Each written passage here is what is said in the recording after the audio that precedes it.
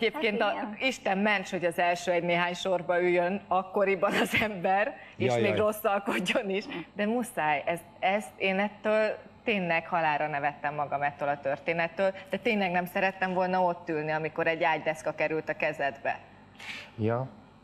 Az, az, az egy Veszprémi, még kezdőszínész voltam, épp az Oli hívott át Veszprémbe színésznek, azonnal mentem, és a német László Győzelem című darabját játszottuk, aminek elképesztő nagy sikere volt. Igen. Na mindegy, ott történt az, hogy a vájár tanulók ottan nem szerették német Lászlót. Van, a, van- van a, hogy mondjam, a, az értelmiség körében is, aki nem szereti, de mondjuk a, be voltak oda kényszerítve, és, és a Göndör Klárikát, ez egy kedves kolléganőm volt, negró cukorral, csúzliból fejjel lőtték. De addig Atyaik. történt mindenféle ramaziri. És én a, a darab szerint, a rendezés szerint éppen egy parasztágyat rakok ott össze, és hát pekükre a kezembe volt az ágydeszka, ugye az első háromszor kiürítettem. Pekjükre. És akkor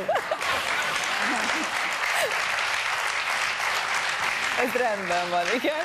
igen, ez úgy le lett rendezve. Egy kicsit makarenkós, bevallom, de, de nagyon hatásos volt. De egyébként, ha ma ilyesmi történik, még ma is ilyen keményen reagálod le?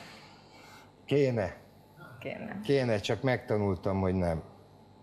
Van valami olyan, amit, amit sajnálsz, hogy az életedből kimaradt ekkora karrierrel a hátad mögött? Négy szem közt megsugom neked. Igen?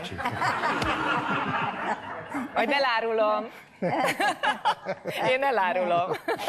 Egyszer váltás után emlékszel, hogy jót mulattunk, együtt kaptunk Így Kossuth van.